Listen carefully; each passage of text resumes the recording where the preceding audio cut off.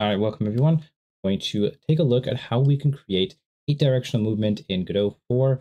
Uh, currently, we're using Godot 4.4, which is in dev mode right now on the bottom right.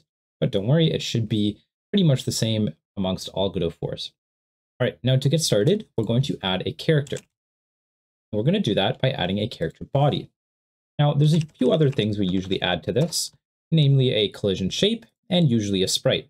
In this case, we can just add a simple sprite icon or icon, the Godot icon, and we'll reset its position to 0, 0 as a child of the character. Uh, here for the collision, we will give this a collision box of a square, and we can simply give it the square like so. And we'll move this player all the way to the middle. And what we'll do is we'll add a script to this guy.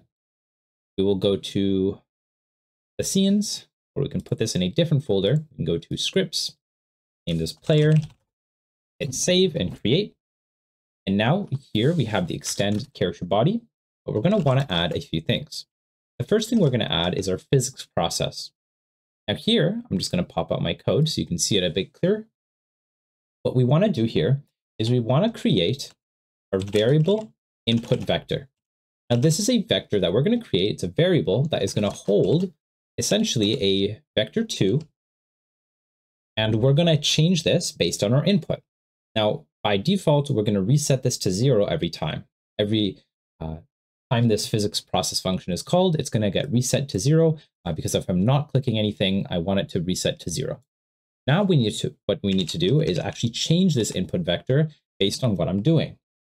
Now, the way we can do this is we can change the dot x, which is the x position of our vector, make it equal to input dot get action strength.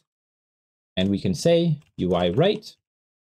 And this will take our current UI right, whether or not I'm actually clicking.